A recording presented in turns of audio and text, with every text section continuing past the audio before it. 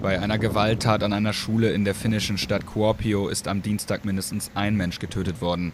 Mindestens zehn Personen seien verletzt worden, teilte die Polizei mit. Unter ihnen sei auch ein Verdächtiger, der in Gewahrsam genommen worden sei. Augenzeugen berichteten laut finnischen Medien, dass der Täter mit einem Schwert oder Säbel zunächst auf einen Lehrer losging. Panik sei ausgebrochen, Schüler warfen mit Stühlen auf den Angreifer. Daraufhin habe der Mann seine Mitschüler angegriffen. Mindestens zwei der Verletzten seien laut der Polizei in kritischem Zustand.